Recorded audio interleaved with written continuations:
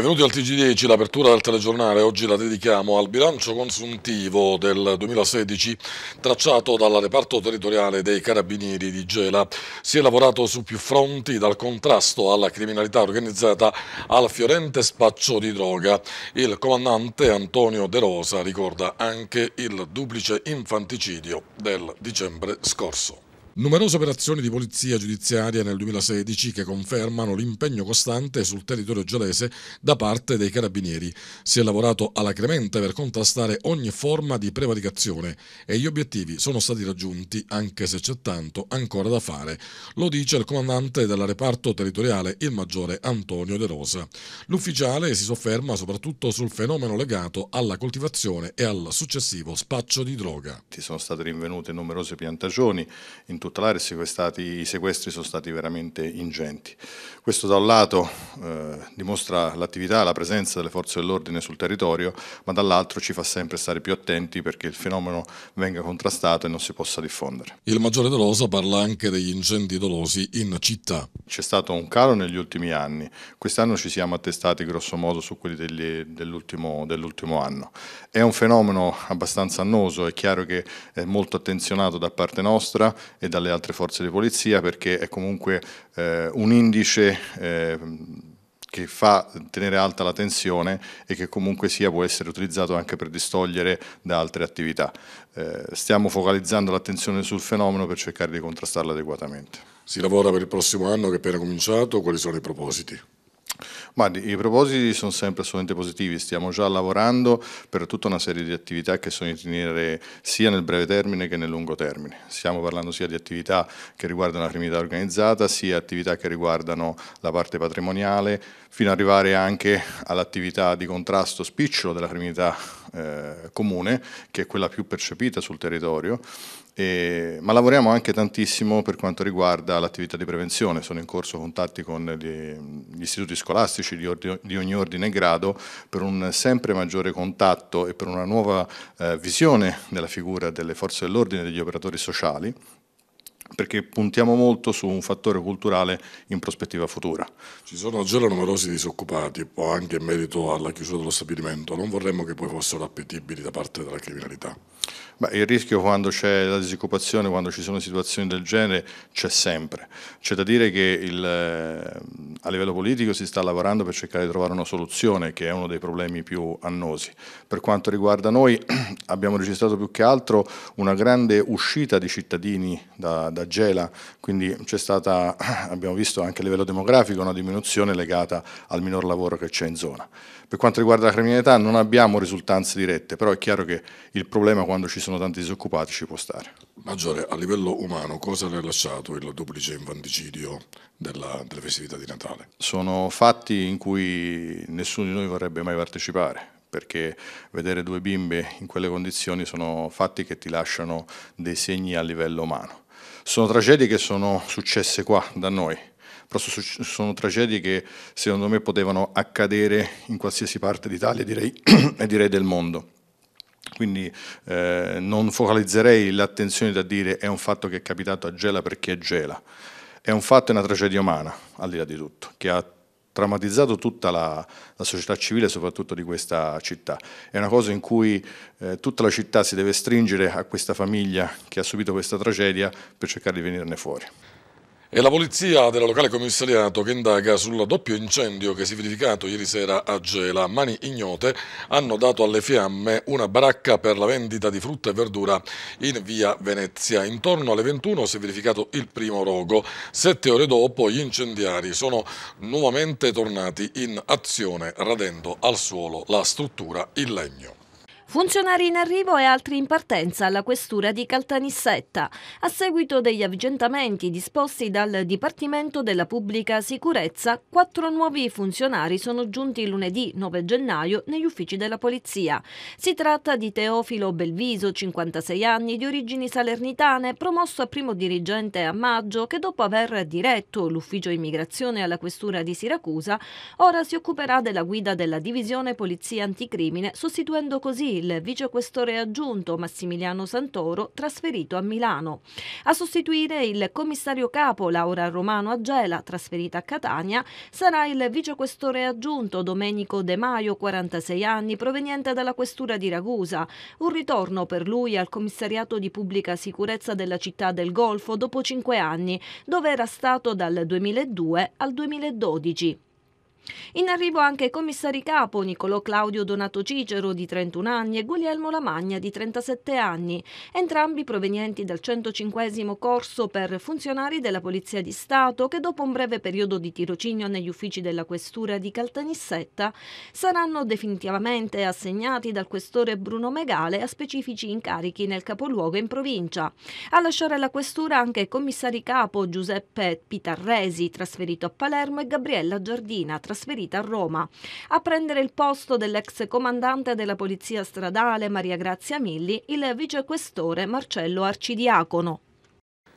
Cambiamo argomento, nessun parere positivo da parte dell'Ordine degli Avvocati di Gela al nuovo regolamento adottato dall'amministrazione comunale. Lo ha ribadito in una nota il presidente Ignazio Emmolo, che anzi ha annunciato la volontà di impugnare il nuovo provvedimento evidenziando diverse criticità, non specificando però quali.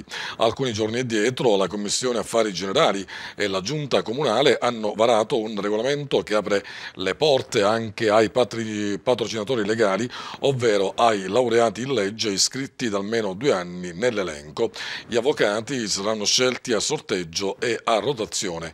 L'elenco, dopo un avviso pubblico, sarà suddiviso in fasce. Aumenta il numero dei parti effettuati al reparto di ginecologia e ostetricia di Gela, nonostante ad oggi l'azienda sanitaria provinciale non abbia ancora attivato il secondo livello e non abbia nemmeno attivato l'UTIN. La denuncia è del portavoce del Comitato per lo sviluppo dell'area gelese Filippo Franzone e l'emblema si legge in una nota di una Gela coraggiosa che si ribella alla crisi e alla stessa Aspenissena. Genitori, nonostante tutto, fiduciosi verso il futuro a dispetto di un contesto economico-sociale tutt'altro che confortante importante e contro le manchevolezze che l'Aspen Sena reitera nei confronti del nosocomio gelese. Sono in tutto 937 i nuovi nati presso l'ospedale gelese, comprese peraltro le nascite di alcune partorienti provenienti da altri centri appartenenti ad altre ASP.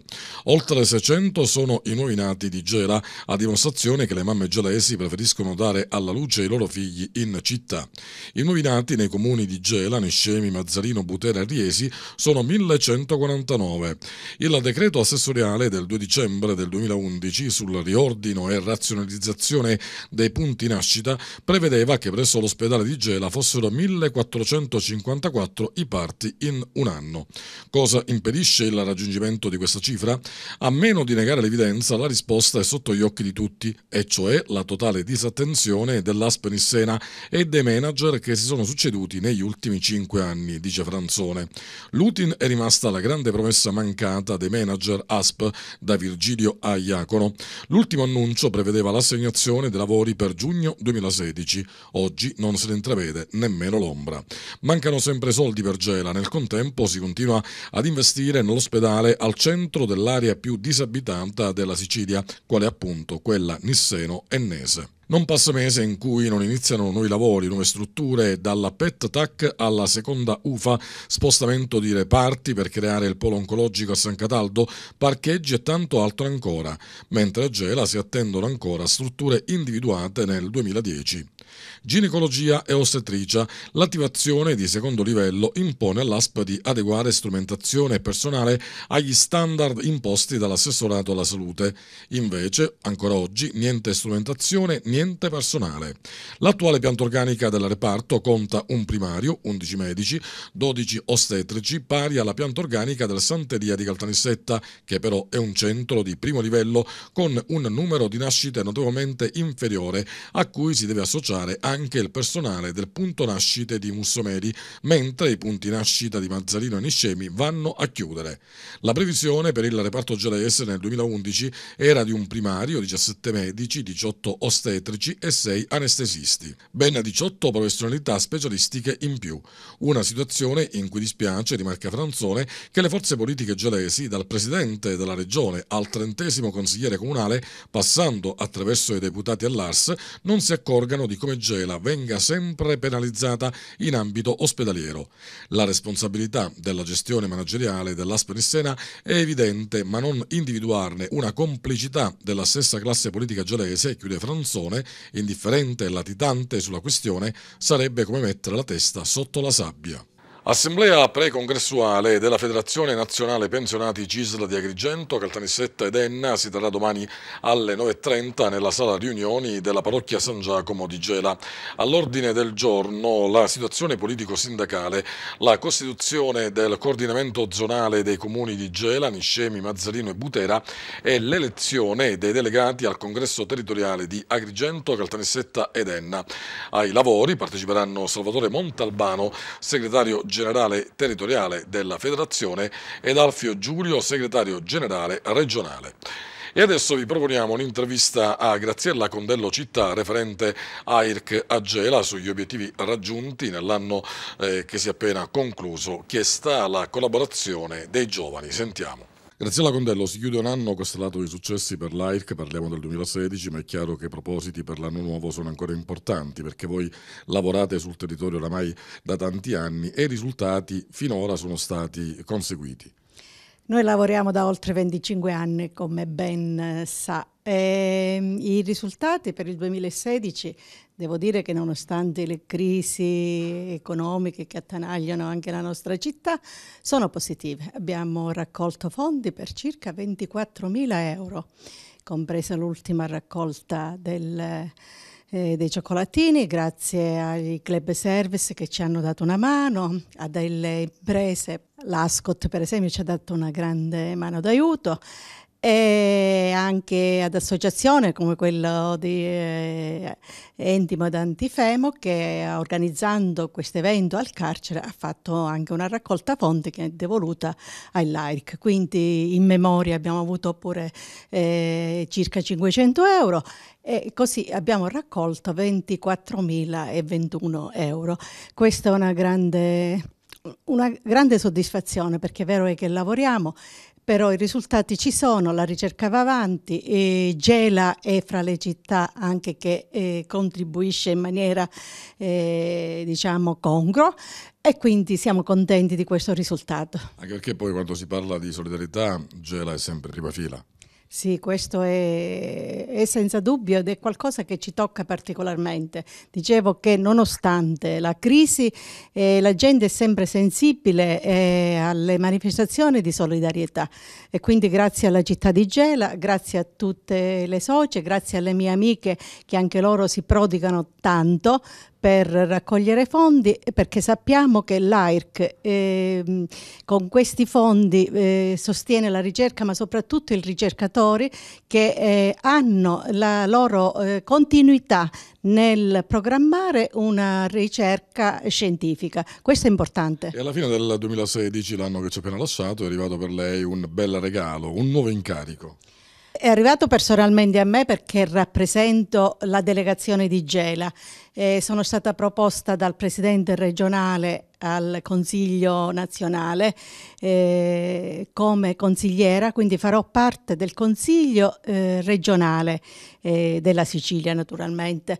Questo è qualcosa che mh, mm, eh, gratifica non me personalmente, ma tutta la delegazione.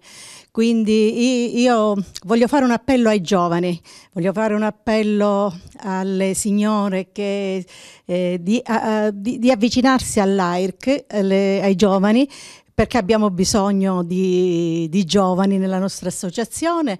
Eh, sono, ci sono dei crediti soprattutto per chi vuole intraprendere la, questa carriera di medicina eh, e darci una mano d'aiuto. Non c'è tanto da lavorare, non, non c'è quota da pagare però abbiamo bisogno di, di, linfa giovane. Noi ormai i quarantenni siamo arrivati a 60 e oltre, perciò dobbiamo passare anche il testimone ai giovani. Venerdì 13 gennaio, appuntamento con la notte dei licei classici. Alle 17.30 all'Eschilo di Gela è previsto l'incontro con i genitori e gli alunni delle terze medie e subito dopo ci saranno dei momenti musicali, teatrali e di intrattenimento a cura dei liceali. Dalle 21 a mezzanotte musica da discoteca. Sono aperte le iscrizioni per l'anno 2017 alla pubblica assistenza Pro Civis Protezione Civile di Gela. Le elezioni cominceranno mercoledì 1 febbraio alle 19.30 e si terranno presso la sala riunioni della Pro Civis. Per iscrizioni ed ulteriori informazioni è possibile recarsi dal 16 al 31 gennaio prossimi presso la sede operativa eh, della Pro Civis in via Ossidiana 23 oppure chiamando la segreteria allo 0933 93 8312. Fai la cosa giusta. Mantieni il decoro urbano della nostra città.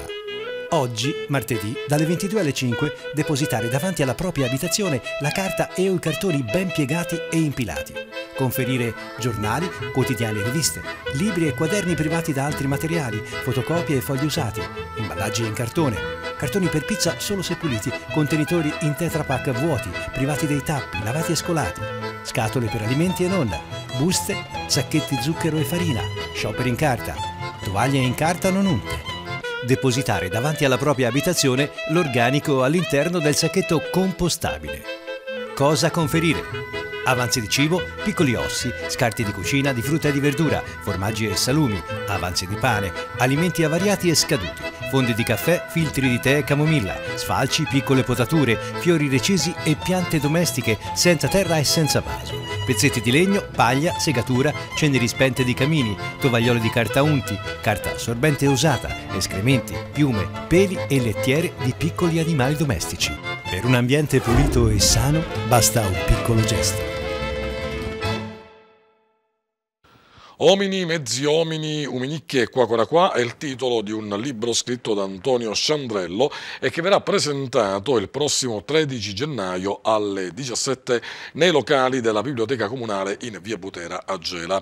Relazionerà Biagio Pardo, alla presentazione interverranno tra gli altri Angelo Fasulo, ex sindaco di Gela, Patrizia Zanone, l'assessore comunale Francesco Salinitro e il sindaco Domenico Messinese.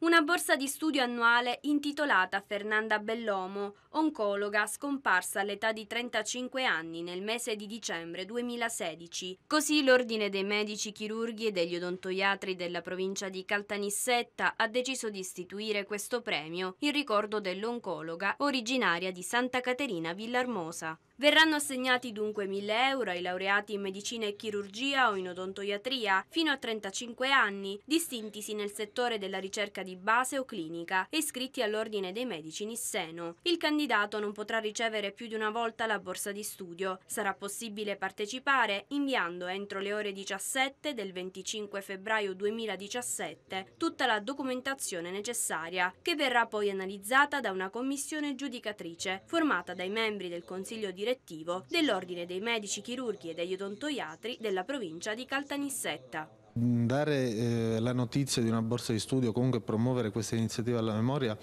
non è mai pienamente, non dà un pieno entusiasmo perché è chiaro che ehm, ha insita la scomparsa di una, di una, collega, di una collega che era un esempio per, ehm, per, tutti noi, per la nostra professione, soprattutto per noi giovani.